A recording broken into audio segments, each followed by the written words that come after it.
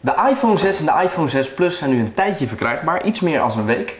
En eh, we hebben ze hier allebei liggen op kantoor. Dit is hem dan de iPhone 6 Plus. En natuurlijk de gewone iPhone 6, de nieuwe modellen als het gaat ja, om het bellen, de belaccessoires van Apple. Ik heb zelf een iPhone 5 en jij ook hè Mike? Ja, klopt. Nou, de vraag is, eh, is het nou waard om te upgraden naar de iPhone 6?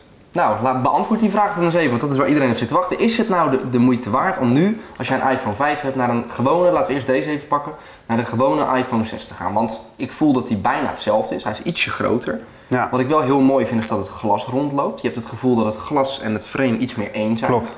Die oude iPhones die waren toch een beetje ja, vierkant, zou ik maar zeggen. Je had gewoon een voorkant, je had een achterkant. En daartussen leek het net alsof er inderdaad gewoon een soort vierkant blokje zat. Dit is nu echt een soort, eh, ja, het, het Nou, voelt heel, wat meer Samsung heel ander model is het gewoon. Ja, maar bijvoorbeeld mijn vriendin die heeft dan een Samsung en zo voelt het wat meer aan. Een beetje als zo'n Ja. Galaxy of iets. Het is, eh, ja, een beetje Nou, is, gra- het is grappig dat je dat noemt, want Ja. wat mij gelijk opviel is dat de, de powerknop, die zit hier eh, aan de zijkant. Ja. En eh, ja, dat zijn wij natuurlijk niet gewend van Apple producten. Normaal zit die bovenop. Ja. Nou, eh, Weet je waar dat door komt? ja, ik weet toevallig precies waar dat door komt. Mooi Eh, dat is, eh, ja, hij is natuurlijk ook gewoon een stuk langer. De- deze grootte is natuurlijk een stuk langer. Die pakken we Plus, zo. We gaan eerst even naar de iPhone 6. Ik wil Maar- weten, als ik een gewone iPhone 5 heb, waarom zou ik naar een iPhone 6 gaan? Noem eens, Nou. noem eens drie punten. Wat is nou voor mij de reden dat ik nu vandaag nog over moet stappen? Ja, er zitten natuurlijk heel veel dingen in, maar eh, vooral dat hij sneller is. Ze hebben weer een nieuwe chip uitgebracht. Dus hij voor is mij is dat snel. Dat vind ik, ik heb gewoon, eh, ik kan alle games spelen, het loopt allemaal lekker. Dat is voor mij de laatste tijd geen reden meer om een telefoon te kopen. Wat, wat kan ik er nog meer mee? Wat is nou echt nieuw? Ja, eigenlijk wordt alles ge- met Apple producten wordt eigenlijk vernieuwd. Er zit natuurlijk weer een, eh, een betere camera in. Eh, Dat is trouwens het, grootste scherm. ding, want dat vergeet je nu even. Daar sla je nu gewoon overheen. Maar het leukste aan deze telefoon, vind ik, is dat je dus slow-mo shit kan gaan schieten. Want er zit een camera in, dat is ongelooflijk. Die is echt nou, dat is- beter bijna als de camera's die wij hier op kantoor dat is hebben. misschien Nou, wel even grappig om te vertellen. Want wij hebben vorige week dus eh, de iPhone 6 Plus eh, een, een review van gemaakt. Ja. En toen hebben wij dus slow-mo getest. En toen, ja, toen maakte jij een hele rare uitdrukking in je gezicht. Ja. En eh, die hebben wij toen teruggekeken en dat was eigenlijk wel heel erg grappig om te zien. Dus ik denk dat je ook wel heel veel plezier kan hebben met slow-mo's met deze telefoon. Ja, dat denk ik zeker. Het is een hele toffe telefoon. Je kan er natuurlijk veel meer mee. Nou, Ja. de slow-mo cam is een van de nieuwe dingen. Ja, Daarnaast zitten er natuurlijk sensors ingebouwd. Eh, waarmee je dus die nieuwe app eh, wat betreft je gezondheid kan gaan checken. Nu moet je accessoires hebben als je een iPhone 5 hebt. Dan moet je bijvoorbeeld een bandje omdoen of iets anders. nou, het is En, grappig eh, dat hier je zit over wat in. de, over de sensors hebt. Ja. Want wat eigenlijk deze twee iPhones anders maakt dan de vorige generatie, is dat er een, een, een soort luchtdrukmeter in zit. Eh, en die weet eh, niet alleen bijvoorbeeld eh, wat je voorheen ook al kan, hoeveel stappen je had gezet, Ja. maar die weet ook precies hoe hoog jij bent. Dus als jij een trap op gaat en je zit op de eerste verdieping, dan weet die telefoon dus, hij zit op de eerste verdieping. En dat is eigenlijk wel een van de nieuwe snufjes die daar dan bij komt kijken bij die HealthKit. Kijk, dat vind ik dus interessanter als dat die sneller is. Want Ja. ik heb zoiets van vroeger was het echt gewoon een meerwaarde als iets sneller werd.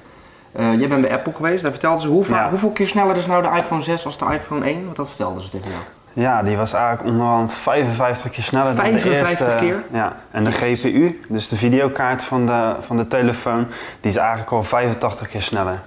Dus die kan eigenlijk al veel meer aan. En dat hebben we natuurlijk ook gezien met Metal en eh, alle mooie games die er nog aan gaan Geef uit voor de mensen die niet weten wat is Eh, ja, Metal is een, een nieuw soort manier van het maken van games op de nieuwe eh, generatie iPhones. En dat zorgt ervoor dat er veel minder rekenkracht nodig is om zo'n spelletje af te laten spelen, waardoor de grafische capaciteiten ja, eigenlijk onderhand vermenigvuldigd zijn, zou je wel kunnen zeggen. En eh, dat is ook een van de nieuwe dingen. Dat kan trouwens overigens ook met de iPhone 5 Plus. Eh, wat zeg ik nou? de 5S. De 5S. Ja, dat hebben ze natuurlijk weer niet meer laten vallen. Ja. Het kan zijn dat er misschien inderdaad nog een 6S gaat komen. Ehm, dit zijn natuurlijk de eerste modellen, maar het is de eerste keer dat ze twee nieuwe telefoons tegelijk uitbrengen. En natuurlijk de grote. Ja. En ehm, ja, vroeger had je natuurlijk een aantal grote vernieuwingen. Je had die, eh, die, die, die laser van je vingerafdruk, je Ja, had. Siri. Die zit hier had, ook weer op. Hè, het retina display. Ik merk niet echt een verandering dat ik zeg van die, die, die is zo groot dat ik meteen een generatie voel tussen de iPhone 5 en de iPhone 6. Tussen Nou, de 4 en de dat- 5 had je dat langere scherm en had je toch weer hè, dat, dat Nou, nieuwe upgrades Deze is natuurlijk ook weer dunner. Ja, merk je dat? Ik, vind hem wel ik, heel ik, mooi. Ik, hand. merk het wel, maar Ik vind Ja. het wel een lelijk kleurtje. Je hebt, eh, je hebt hem in drie verschillende Klopt. soorten, als ik het goed zeg. En Ja, ik vind ja, deze ook minst vind ik echt, Ja. voor, voor vrouwen vind ik hem leuk. Maar zelf zou ik er niet mee lopen. Dus Nee, ze hebben weer de allermooiste opgestuurd. Ze zijn allebei. Dit is de gouden versie toch? ja, klopt.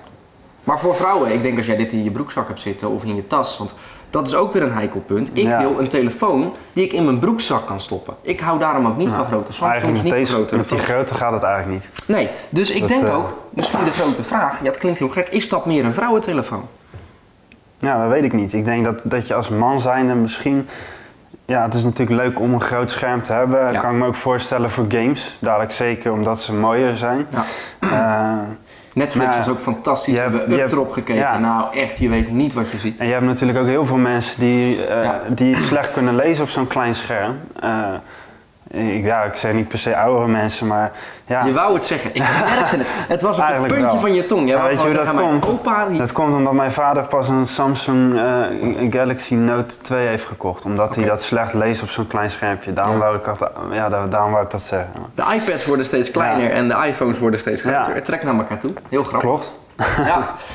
Maar die Nou. grote dus, het is eh, in principe Ja, niet, precies niet, al, niet alleen de grote. Oh, wat is er nog meer Eh, nieuw dan?